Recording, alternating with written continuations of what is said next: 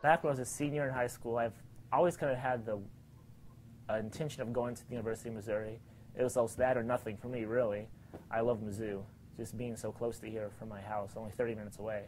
So the way that worked my senior years, I sat down with my parents and we decided was I was going to go for as long as my scholarships went, and then we'd see at that point what I wanted to do.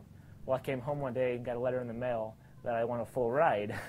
so that kind of made up the decision for me that, yeah, I was going to go to school since I had it paid for. So I've been going there now, and with that, I've been able to use what I learned there to help grow my business. Whenever I get done, I can really run with it and actually grow it a lot more than where it is now. The story behind Stanton Brothers all kind of goes back to the first grade.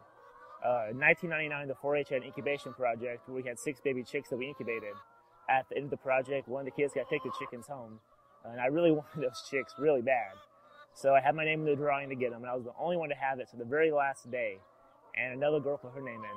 She ended up winning the chicks, and I came home pretty disappointed. My uncle was there though. He saw me, uh, saw that I was crying at that time. Uh, he bought me six baby chicks the next day, and that's kind of how it started as an allowance at that time. And from there it grew. Well, from those six chicks, uh, in 07, 2007, we started going to the farmer's market and selling retail.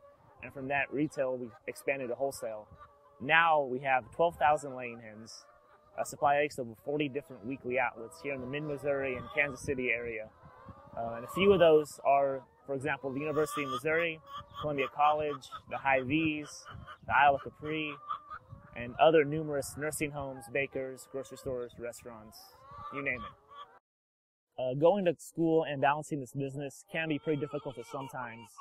I have to be able to keep my grades up, as well as continue to study for tests, exams, homework, writing essays, going to class itself, uh, taking notes, learning lectures, and then when I come home, I don't have time to do any of that stuff. So for me, it's really where Columbia is where I study a lot, else, you know, in Cornell or in the classroom. And then when I come home, it's more business. Make sure everything's staying caught up and not falling behind. A typical day when I'm not in school uh, starts getting up in the morning, going out, uh, feeding the chickens, doing that for the first time, going through gathering the eggs, and then coming back later and doing more gathering. That's pretty much all day, just that job.